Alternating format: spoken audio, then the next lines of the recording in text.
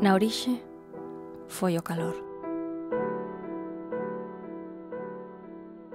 Lévedo, agardando medrar, coberto por un pano de cadriños azuis e brancos.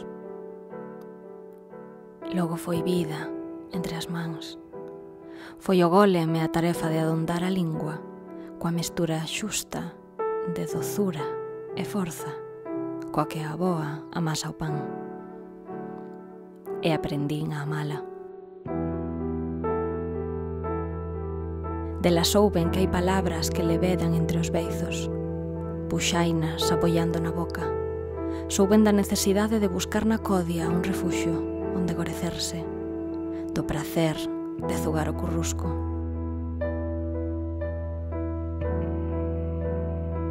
Ensinoume tamén a bailar o fuso, a berrarmos unha longa cantiga de loita, para que o pan medre.